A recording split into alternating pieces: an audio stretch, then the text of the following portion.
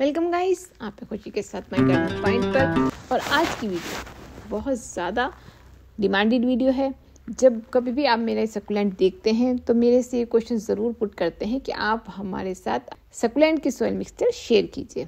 आज की वीडियो उसी पर है। मैं आज आपके साथ अपने सकुलेंट की सोयल मिक्सचर शेयर करूँगी और साथ के साथ आपको कुछ ऐसे टिप्स भी बताऊँगी जो अगर आप फॉलो नहीं करेंगे तो आप, आपकी सोयल मिक्सचर कितनी भी अच्छी हो आपके प्लांट डेड हो जाएँगे। बहुत इंपॉर्टेंट वीडियो है, हर एक पॉइंट बहुत इंपॉर्टेंट है और और हर एक लाइन में टिप और ट्रिक्स मैं आपको शेयर करके चल रही हूँ। वीडियो दो पार्ट में डिवाइडेड है। पहले पार्ट में मैं आपको कुछ खास टिप्स बताऊँगी जिनको फॉलो करना आपके लिए बहुत ज़्यादा ज़रूरी है। सेकेंड पार्ट में मैं आपको सॉइल मिक्सचर बताऊँगी, वो भी तीन तरह की। तीनों ही तरह की सॉइल मिक्सचर आपके सकुलेंट के लिए बहुत कंपलसरी है, जो मेन सोयल मिक्सचर है, जिसमें आपके प्लांट रेनी सीज़न हो हाई टेम्परेचर हो, सर्दी हो फॉग हो, कुछ भी हो, उसमें आपके सकुलेंट सेव रहेंगे। मेन मिक्सचर वो है, लेकिन उसको अप्लाई करने के कुछ रूल्स हैं, जिनको अगर आप फॉलो नहीं करेंगे तो उस मिक्सचर का होना भी बेकार हो जाएगा। तो आप बहुत केयरफुली मेरी वीडियो सुनिए और लास्ट तक सुनिए लास्ट के एक एक लाइन तक कुछ ना कुछ टिप आपको मिलने वाले हैं। अगर आपने बहुत ध्यान से नहीं सुना और लास्ट में आपने इसको स्किप कर दिया तो आपकी पूरी वीडियो देखना बेकार हो जाएगा। तो अगर आप सेकुलेंट एडिक्ट हैं और वाकई में सेकुलेंट चाहते हैं गार्डन में भर भर कर सेकुलेंट आए तो ये वीडियो आप ही के लिए है। तो चलिए करते हैं स्टार्ट सबसे पहले मैं आपको बताती हूँ कुछ मेन टिप्स अगर आप सेकुलेंट को अपने गार्डन में लेकर आते हैं तो आपकी ड्यूटी हो जाती है कि आप उसको सेव भी करें और एक अच्छा स्पेस भी दें। अपने सेकुलेंट को एक अलग पोर्शन में रखें, जहाँ पर आपके नॉर्मल प्लांट्स रखे हैं, जिनको आप अच्छे भरकर पानी देते हैं शावर देते हैं, उनसे काफ़ी अच्छी दूरी पर आप अपने प्लांट्स को रखिएगा। कैक्टस हो सकुलेंट हो, एक अलग पोजिशन में रखिएगा, क्योंकि उनको कम पानी दिया जाता है। अगर आपका शावर आपका पानी प्लांट्स पर पड़ जाता है सकुलेंट के तो आपके सकुलेंट डेड हो जाएँगे। तो कुछ भी करने से पहले अपने गार्डन में एक स्पेस ऐसा ढूंढ लीजिए, जहाँ पर आप अलग से अपने सकुलेंट को डेकोरेट कर सकें। सेकेंड बात है, वो स्पेस ऐसी जगह पर होना चाहिए, जहाँ पर कम से कम तीन चार घंटे की डायरेक्ट सनलाइट उन पर आती हो स्पेशली विंटर में। बहुत ज़रूरी है कि आप उनको सनलाइट दें। सनलाइट देंगे तो उनको फोटोसिंथेसिस का प्रोसीजर है, वो बहुत जल्दी काम करता है और आपके हेल्दी सक्लेंट निकल कर सामने आते हैं। और डेड होने के चांसेस बहुत कम हो जाते हैं। कलर भी काफ़ी चेंज हो जाता है। कलर दो बातों से चेंज होता है। एक बात होता है कि आप उसको ड्राई रखिए और दूसरा होता है उसको सनलाइट दीजिए। अगर आप ये दोनों बातें फॉलो करते हैं, जितना ड्राई रखेंगे, उतना रेड कलर निकल कर आपका सकुलेंट का सामने आएगा। अक्सर ये कहा जाता है कि धूप में रखिए तो कलर चेंज हो जाता है, लेकिन धूप में रखने के साथ साथ आप उसको ड्राई भी रखिए तो आपको कलरफुल सकुलेंट मिलेंगे। अब बात करते हैं मेन पॉइंट जो मैं आपको हर एक वीडियो में ज़रूर बताती हूँ और आपको भी इसको ज़रूर अप्लाई करना चाहिए। आप अपने सकुलेंट की कटिंग करके ज़रूर चलिए, उसे हर सीज़न में प्रोपेगेट करके ज़रूर चलिए। अगर आपका मदर प्लांट डेड हो भी जाता है, लेकिन जो आपने प्रोपेगेट किया है न्यू प्लांट वो बिल्कुल भी डेड नहीं होगा और नेक्स्ट सीज़न में आपके साथ बना रहेगा। जब आपकी स्टेम में आप देखें कि रूट्स निकल रही हैं, या फिर बहुत ज़्यादा लेगी हो रही है रूट्स भी नहीं निकल रही लेगी हो रही है तो भी आप उसको कट कर दीजिए और कट करने के बाद उसे न्यू सोयल में न्यू मिक्सचर में आप लगाएँगे न्यू फर्टिलाइज़र के साथ। हेल्दी और शाइनी सकुलेंट निकल कर आपके सामने आएगा, एक कॉम्पैक्ट फॉर्म में आपके सामने आएगा और जो मदर प्लांट है, उसमें से छोटे छोटे न्यू बेबीज निकल कर आपके मदर प्लांट को भर देंगे सकुलेंट से।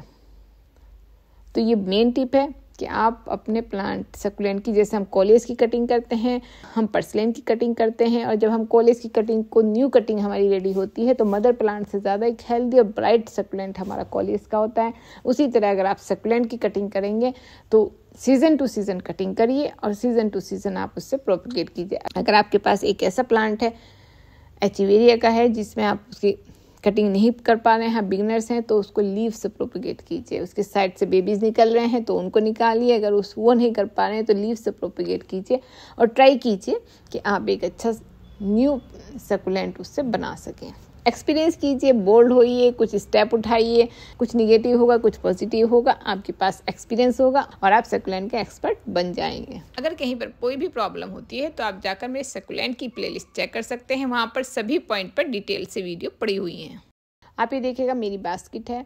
इसमें रूट्स निकल रही हैं स्टेम्स पे रूट्स निकल रही हैं और मैंने इसे कट करने में लेट किया है, जिसकी वजह से इसकी जो अंदर की जो ब्रांचेस हैं, जो अंदर की रूट हैं, कुछ ड्राई हो रही हैं, वो ड्राई होकर ख़त्म होनी स्टार्ट हो गई हैं। तो मेरे लिए बहुत कंपलसरी हो गया है कि जो भी सेकुलेंट मेरे पे बचे हैं, उनको मैं कट करूँ और कट करके उनको न्यू पॉट और न्यू सोयल मिक्सचर दूँ। अब देखिए, मैंने ये सब कट कर लिए हैं और मैं इनको न्यू बास्केट में लगा रही हूँ। साथ ही जो मेरी पुरानी मदर प्लांट की बास्केट है, मैं उसको भी उसमें से रूट हुए हुए सब स्टेम्स अलग करके ट्राई करूँगी कि उसमें न्यू बेबीज निकले और मैं उसमें नीम खली और पत्तियों की खाद, अगर आपके पास पत्तियों की खाद नहीं है तो आप उसकी जगह पर बॉन मील यूज़ कर सकते हैं। वो मिक्स करके और फंगी साइड मिक्स करके मैं उसमें उसका पानी दूँगी और उसको एक साइड रख दूँगी साफ़ सुथरा करके और एक बास्केट मेरी तैयार हो जाएगी। इस सीज़न को तो छोड़िए नेक्स्ट सीज़न भी वो बिल्कुल नहीं मरेगी। और उससे मैं नेक्स्ट सीज़न में न्यू प्लांट्स रेडी करूँगी। जो लीव्स निकलती हैं कटिंग करते हुए तो उनसे मैं न्यू प्रोपगेशन करूँगी लीव्स से। तो ये चीज़ें अपने सकुलेंट के साथ ज़रूर अप्लाई कीजिए। अब बात आती है, वो भी बहुत इंपॉर्टेंट है कि मई, जून में जब गर्मी होती है मई, जून की, उस टाइम पर आप उसको सेमी शेड में रखिएगा। जून, जुलाई में जब बारिश होती है, क्या आप रेन से अपने सर्कुलेंट को सेव करें? बहुत कंपलसरी है। आप मई, जून में उसे सेव कर सकते हैं, लेकिन अगर बारिश में आप उसको केयर नहीं कर पाए तो आपका सकुलेंट हंड्रेड परसेंट डेड हो जाएगा, उगल जाएगा। तो रेनी सीज़न में स्पेशली ध्यान रखना है। मेरे पास ज़्यादातर गर्मी को लेकर क्वेश्चन पुट होते हैं, और मेरा एक्सपीरियंस ये है कि मैं गर्मी में तो हम लोग सेव कर लेंगे, लेकिन रेनी सीज़न से अगर हम नहीं बचा पाए तो हम अपने प्लांट सेव नहीं कर पाएँगे। स्पेशल ध्यान रखना है कि बारिश का पानी आपके प्लांट्स पर नहीं पड़ना चाहिए। अब बात करते हैं मिट्टी की। यहाँ पर मैं आपको तीन तरह की मिट्टी बताऊँगी गाइज़ जो बहुत ज़्यादा कंपलसरी है सकुलेंट लवर के लिए कि वो किस तरह की सॉइल मिक्सचर यूज़ करें। आप चाहे गर्मी में रहते हो, चाहे आपके यहाँ हाई टेम्परेचर हो लो टेम्परेचर हो चलो गर्मी, सर्दी, बारिश, किसी भी तरह का आपका सीज़न हो तो आप अगर सिंडर में अपने सकुलेंट को लगाते हैं तो वो बिल्कुल भी डेड नहीं होगा, ना गलेगा, ना डेड होगा। सिंडर क्या होता है? इस पे सिंडर पे डिटेल से वीडियो मैं अलग से डालूँगी। अगर आप सिलेंडर को ख़रीदना चाहते हैं तो ऑनलाइन ख़रीद सकते हैं, या फिर आप लोकल नर्सरी से ले सकते हैं।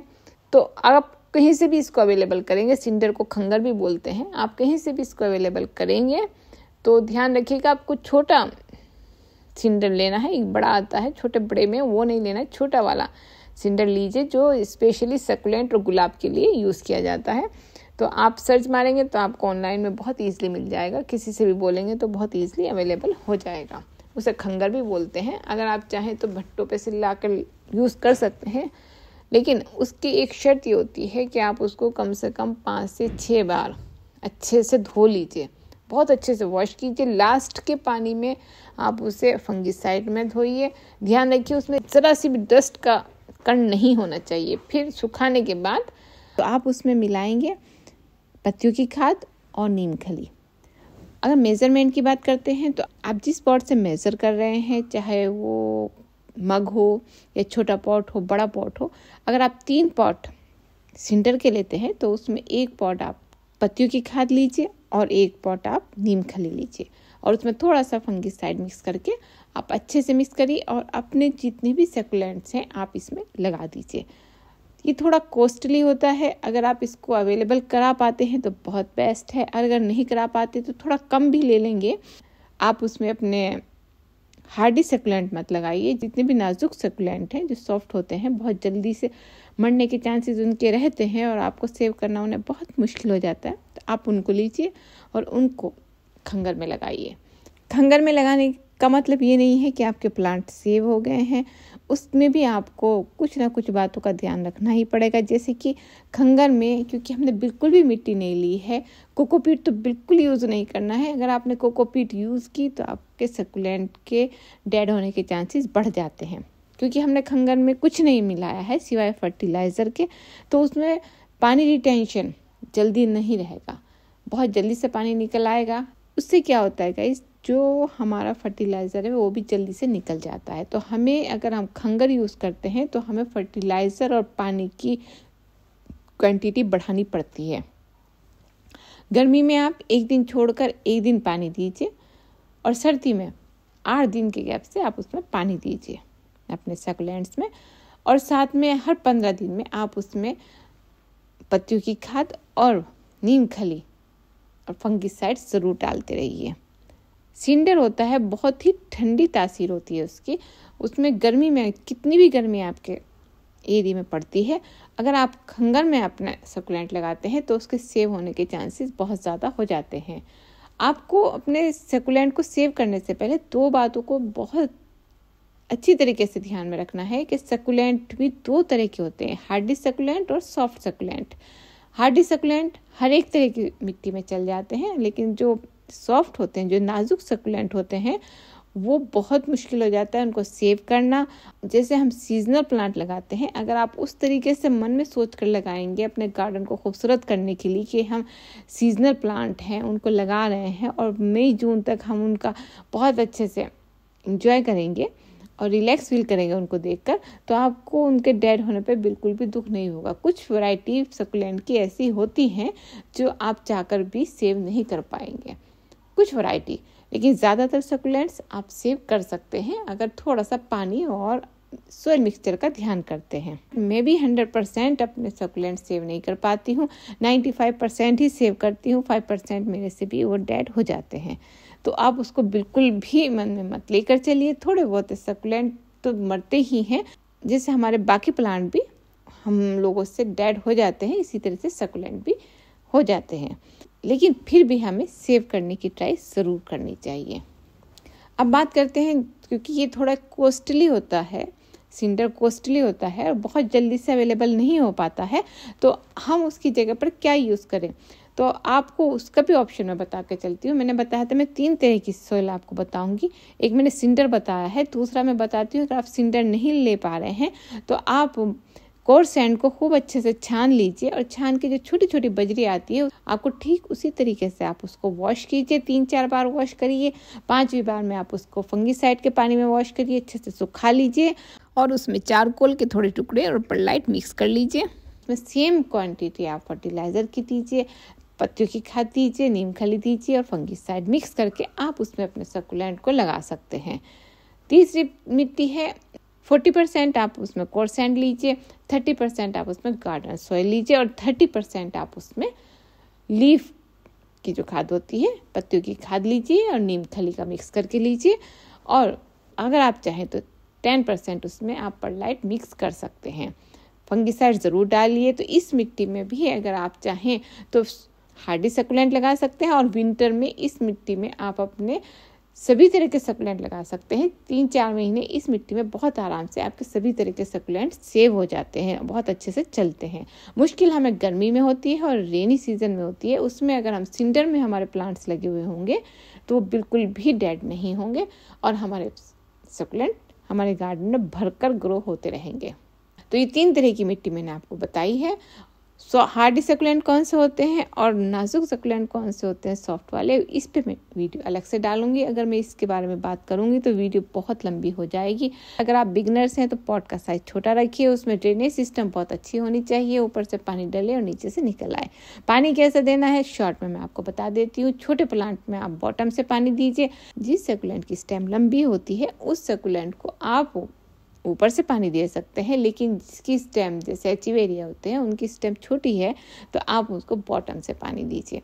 जो बड़े हमारे सकुलेंट हैं, जैसे कि हमारे जेड प्लांट होते हैं क्रेसुला वाटर होता है, उसमें आप ऊपर से पानी दे सकते हैं इजीली दूसरी बात यह है कि अगर आपके प्लांट धूप में रखे हैं तो आप एक बार शावर ज़रूर दीजिए, हल्का मिस्ट ज़रूर कीजिए। उनकी ग्रोथ के लिए बहुत ज़रूरी होता है कि उनको हल्का मिस्ट किया जाए, लेकिन हल्का धूप से पहले कीजिए ताकि धूप आने पर वो जो थोड़ा बहुत पानी उसमें है, वो धूप में अब्जॉर्ब हो जाए। तीनों में से कोई सी भी आप मिट्टी यूज़ करना चाहते हैं सिंडर की करना चाहते हैं या जो मैंने उसकी जगह पर दूसरा सोयल मिक्सचर बताया, वो यूज़ करना चाहते हैं या फिर तीसरी वाली यूज़ करना चाहते हैं तो अगर आप बिगनर्स हैं और पहली बार कर रहे हैं तो एक दो प्लांट पर ही उसको यूज़ करके देखिएगा। उसके बाद ही आप जब एक्सपीरियंस्ड हो जाए कि कैसे पानी देना है, कैसे कहाँ पर रखना है तो ही आप उस बाकी प्लांट को उस मिक्सचर में लगाइएगा। सीधे एक साथ डायरेक्ट आप सभी प्लांट्स को चेंज मत करिएगा। बहुत सारे टिप्स ऐसे हैं, बहुत सारी टिप्स ऐसी हैं, बहुत सारे सीक्रेट्स ऐसे हैं मेरे बहुत सारे एक्सपीरियंस ऐसे हैं जो मैं आपके साथ शेयर करना चाहती हूँ। उसके लिए आप प्लीज़ मुझे इंकरेज कीजिए, एक लाइक का बटन दबाइए। अगर मेरी वीडियो यूज़फुल लग रही हैं तो मेरे चैनल को सब्सक्राइब कीजिए। नेक्स्ट वीडियो तक गाइस बाय